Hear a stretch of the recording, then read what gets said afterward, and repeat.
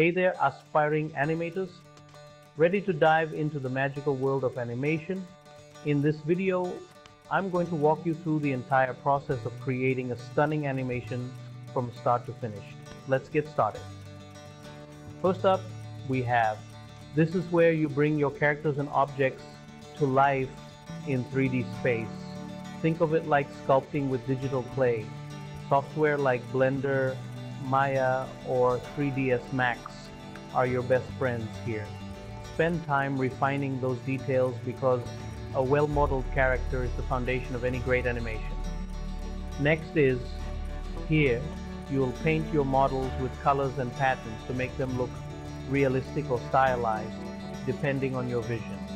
Tools like Substance Painter or Photoshop help you add that extra layer of believability.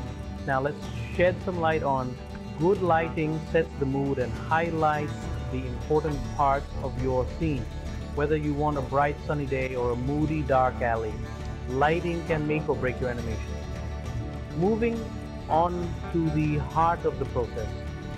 This is where your characters and objects come to life with movement. You'll be working with keyframes, timelines, and a whole lot of patience. Remember, practice makes perfect. Then we have, or VFX, this is where the magic happens. Adding explosions, weather effects, and other visual elements can take your animation to the next level. Software like After Effects or Houdini can be incredibly useful here. Is next. Here, you'll piece together all your animated sequences, add transitions, and ensure the timing is just right. Programs like Premiere Pro or Final Cut Pro are great for this. Now, it's time for this is where your computer processes all the data to create the final image sequences. It can be time consuming, but it's worth the wait to see your hard work come to life in full quality.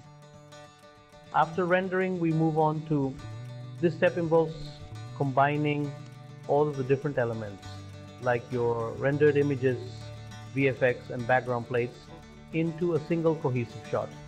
Tools like Nuke or After Effects are commonly used here. Finally, you get your watch it, critique it and make any necessary adjustments. Remember, animation is an iterative process. Keep refining until you're satisfied with the result. And there you have it. From modeling to the final shot, you now have a roadmap for creating amazing animations. So what are you waiting for? Get out there and start animating. Thanks for watching.